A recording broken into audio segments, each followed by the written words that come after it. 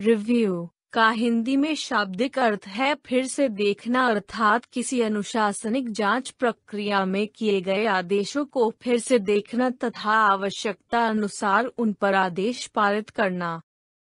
यदि किसी विभागीय अनुशासनिक प्रक्रिया की समाप्ति के पश्चात ऐसा कोई नया तथ्य जानकारी में आता है या दिया जाता है जो नियमित जाँच प्रक्रिया के दौरान संबंधित आदेश पारित करते समय उपलब्ध नहीं था या किन्हीं कारणों से प्रस्तुत नहीं किया जा सका था, परंतु जिससे मामले की मूल प्रकृति ही बदल जाती हो। तो ऐसे स्थिति में राष्ट्रपति स्वेच्छा से अथवा अन्य किसी आधार पर किसी आदेश का पुनर्विलोकन रिव्यू कर सकते हैं।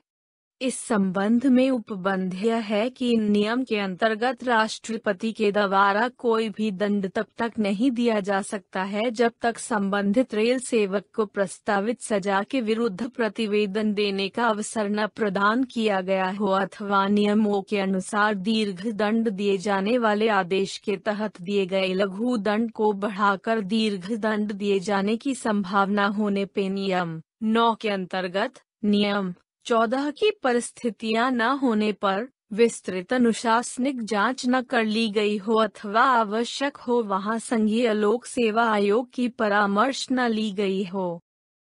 रिवीजन को यदि दूसरी अपील कहा जाए तो अनुपयुक्त नहीं होगा क्योंकि अपीलीय आदेश के बाद रिवीजन प्रतिवेदन पर उसी प्रकार से विचार किया जाना है जैसे अपील के प्रतिवेदन पर। रिवीजन के प्रतिवेदन के निष्पादन के लिए निम्नलिखित समय सीमा निर्धारित की गई है। एक,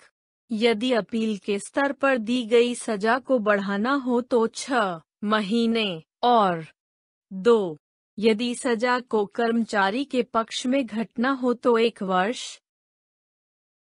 परंतु राष्ट्रपति रेलवे बोर्ड तथा महाप्रबंधक बिना किसी समय सीमा के रिवीजन प्रतिवेदन पर विचार करके आदेश पारित कर सकते हैं।